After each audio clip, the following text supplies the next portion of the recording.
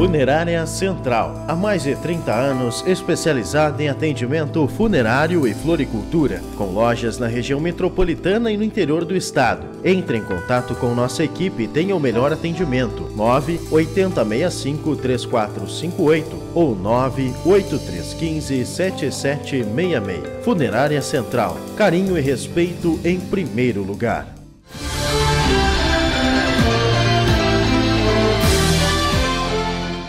Dois homens foram presos pela Brigada Militar de Tapes na madrugada desta terça-feira, 16 de outubro. Conforme informações, a Brigada Militar, durante a realização de patrulhamento na área central da cidade, foram informados sobre uma motocicleta que estava em ocorrência de furto sendo deslocada por dois homens. Ao abordarem os indivíduos, foi constatado que a motocicleta Honda CG 150, de placas IOO 3916, se encontrava em ocorrência.